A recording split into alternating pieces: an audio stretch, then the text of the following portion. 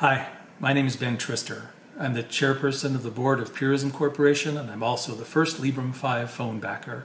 I'm going to show you the initial setup of the Librem 5 phone Aspen batch. While I do that, I'll also share a bit of the remarkable story of Purism over the years from my perspective.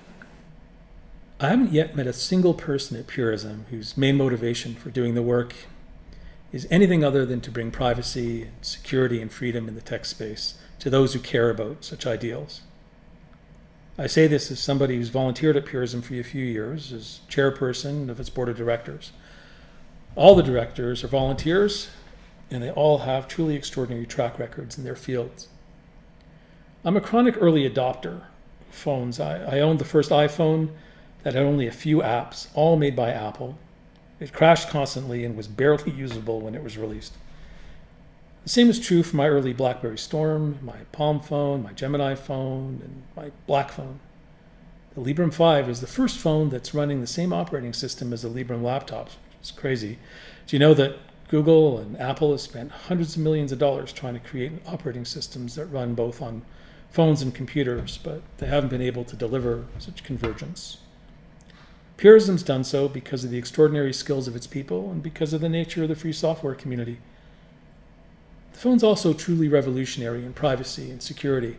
Finally, we'll have the ability to avoid all the tracking and exploitation done by Android and iOS. While there are only a handful of apps on it, I'm confident that many more apps will follow relatively quickly, as it's just a matter of configuring current apps to run on the phone size, which is much easier than creating apps from scratch. This phone has been created for the user and will be owned by the user unlike Android and iOS phones that are a means of exploiting the user and controlling the user. Purism, the social purpose corporation, and those who supported it are motivated by the desire to correct all that's wrong with big tech and how those companies impact our lives. Like all other early phones that I've owned, the Librem 5 will start out with a limited feature set. The development of a robust list of applications will come. A fair number of people might use the Librem 5 as a second device for the near future. I'll be supporting everything Purism is doing, and I hope you will too. The release of the Librem 5 is the beginning of a journey toward what mobile phones should have been all along. It has the potential, together with Librem One services, to restore privacy, security, and freedom in the mobile phone space.